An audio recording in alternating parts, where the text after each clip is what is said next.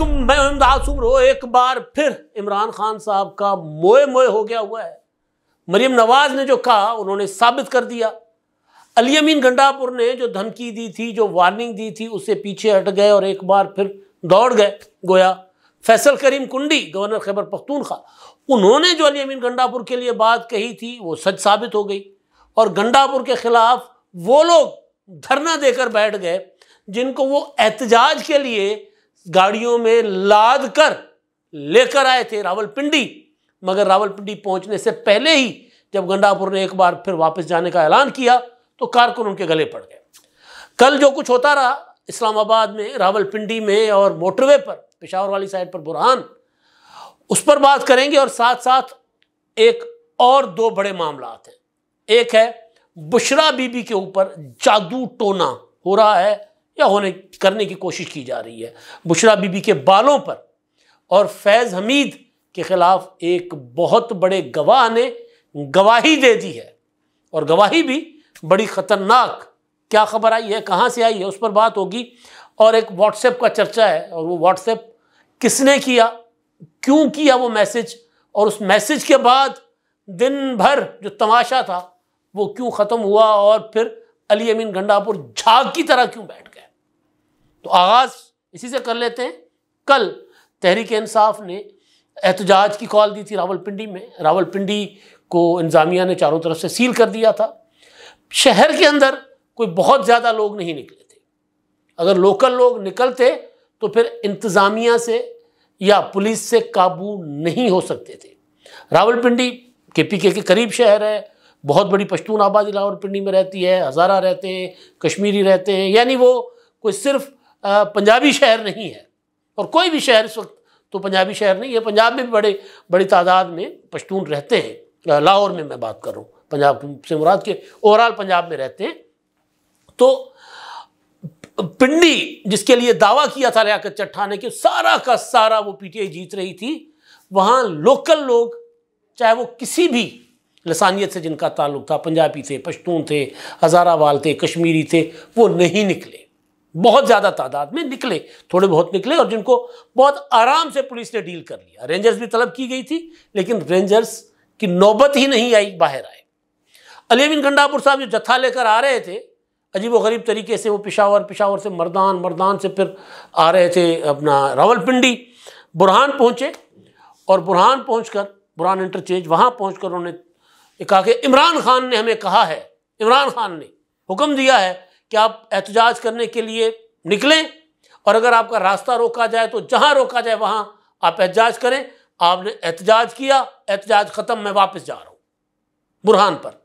सुबह से वो अलीमिन गंडापुर लोगों के जज्बात के साथ खेल रहे थे और वो कह रहे थे कि हम हर सूरत पिंडी पहुँचेंगे। लोगों ने शेलिंग खाई, डंडे खाए। ज़ाहिर है फिर पुलिस जब आम कारकुन तो बेचारा वो तो अपनी क्यादत के पीछे चलता है ना, उनको साजिशों का नहीं पता होता कि पीछे साजिशें क्या हो रही हैं।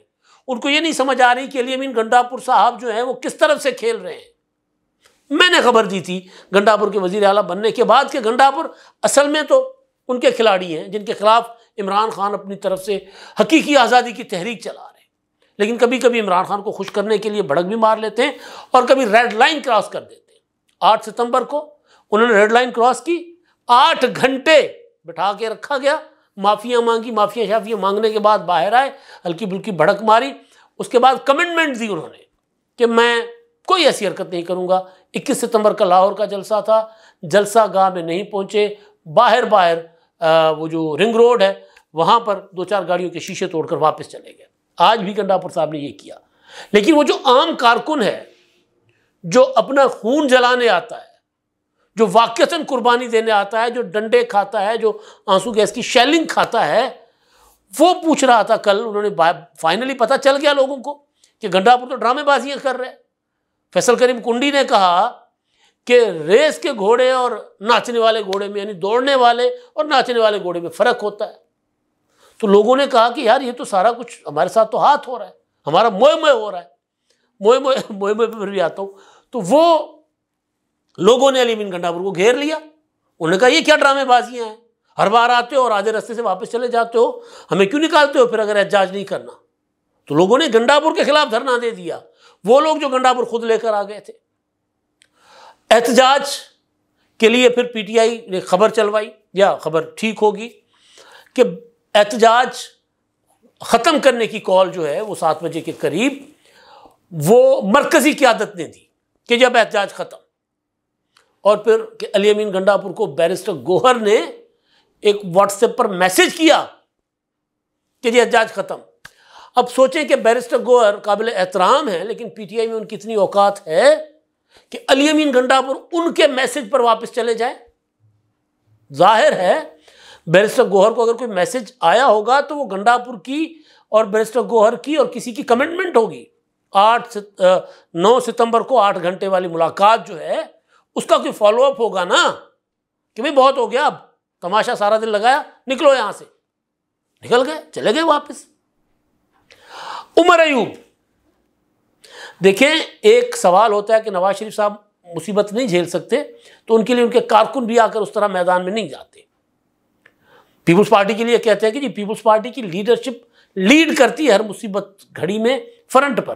पहले खुद जान देती है, उसके बाद उनके ऊपर कारकुन जाने निछावर करते जेलें काटते डंडे खाते। बेगम नुसरत भुट्टो का सर फटा था लाहौर के कजाफी स्टेडियम में जो आजकल कजाफी स्टेडियम की शक्ल ही नहीं रही वो तो, तो तोड़ टूट फूट बल्कि वहाँ पर असर नो हो रहा है तामीर हो रही है। लेकिन जब कारकुनों ने देखा कि उनके कायद की एहलिया का सर फाड़ा गया है तो कारकुन तो पागल हो गए वो निकले इसीलिए उनको जाला कहा जाता है। लेकिन यहाँ मसला ये है कि लीडर की बहन कह रही है कि सारे कंप्रोमाइज है अमीन गंडापुर, सारी लीडरशिप और वो कंप्रोमाइज अपने आप को साबित करते उमर अयूब क्या कर रहे थे? उमर अयूब, वो जो मोटरवे पर जो टीले हैं, पहाड़ी टीले या चटाने उनके ऊपर चढ़कर वीडियो बना रहे हैं दूर दूर, ताकि आँसू गैस की शेलिंग की हल्की सी वो भी ना आए। तो आँखों में आँसू भी ना आए ताकि। वो वहाँ से वीडियो बना रहे हैं और कारकुन मारे खा रहे हैं, आँसू गैस की शेलिंग बर्दाश्त कर रहे कारकुन इतने जज्बाती के पंजाब पुलिस से असला छीन रहे हैं। कारकुन इतने जज्बाती के वाटर कैनन पुलिस के ऊपर चला रहे और ये साहब दूर वीडियो बना रहे हैं। गंडापुर साहब यूँ पूरा के पी के लताड़ कर बुरान पहुंचकर वापस वापसी का ऐलान कर देते हैं। तो कारकुन तो अब अब ये होगा ना, शेर आया शेर आया। अब तो कोई ज़ाहिर है, कोई उस तरह नहीं निकलेगा इनके पीछे। खड़ी रही सारा दिन इमरान खान की बहनें। बहुत ज़बरदस्त उनका किरदार है अपने भाई के लिए। खड़ी रही मैदान। आँसू गैस की शेलिंग है ये है कारकुनों में।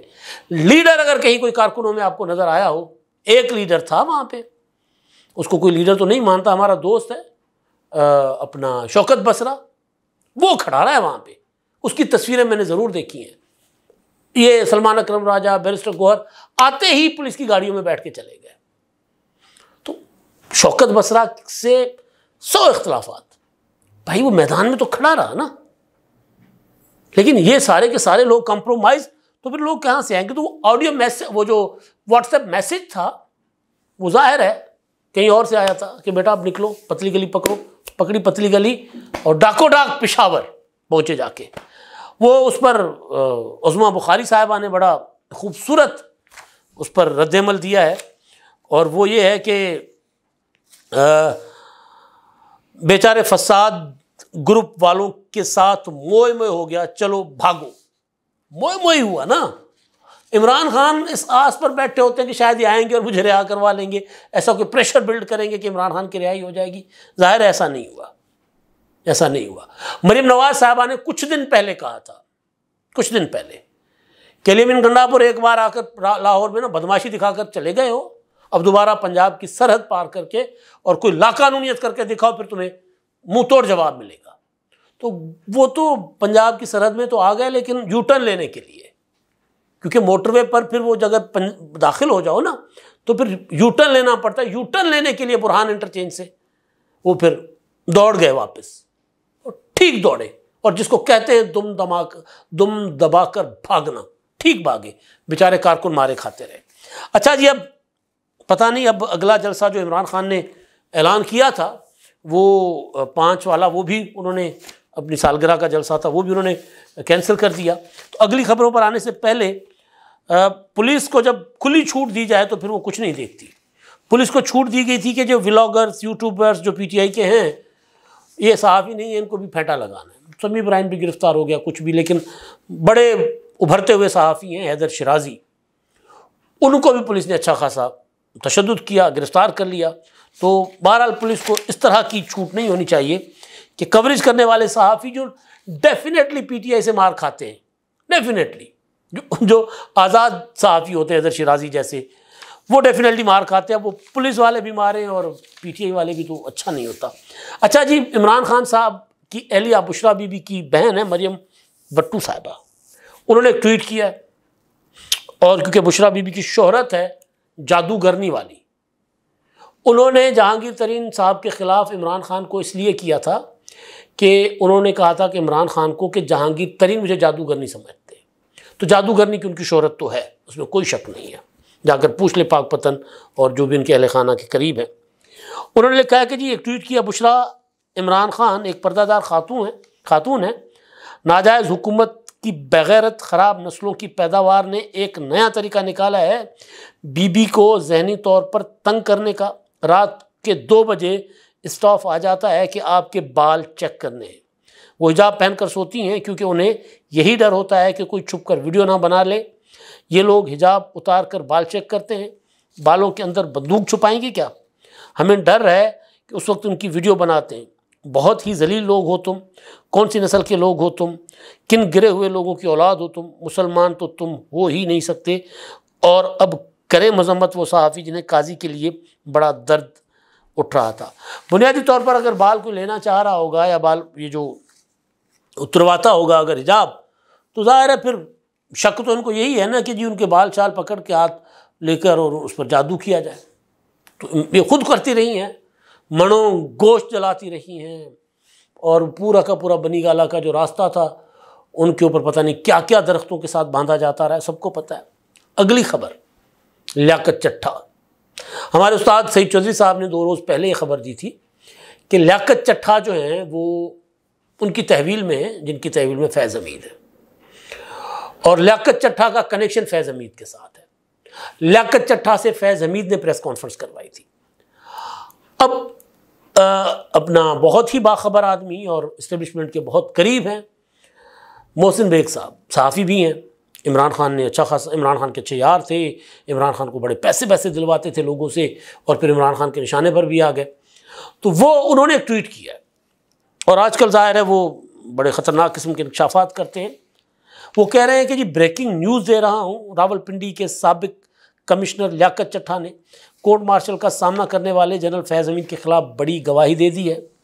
ज़रा ने इस बात की तस्दीक की है कि लियाकत चट्ठा को ट्रायल के दौरान फैज़ हमीद के सामने भी ले जाया गया था और उन्होंने उनके सामने ये बड़ा एतराफ़ किया है कि आठ फरवरी के इंतबात और रावलपिंडी से नून लीग के हारने और नतज तब्दील करने से मुतल जो प्रेस कॉन्फ्रेंस उन्होंने की थी, वो भी जनरल फैज़ हमीद के कहने पर की थी, वरना उनके पास उनके कोई शवाहद नहीं थे। ये इंकशाफ भी सामने आया कि फैज़ हमीद ने उन्हें बताया था कि नवंबर 2024 में वो सदर पाकिस्तान होगा, यानी फैज़ हमीद और फिर इमरान खान को जेल से निकाल कर वज़ी अजम बनवा देगा।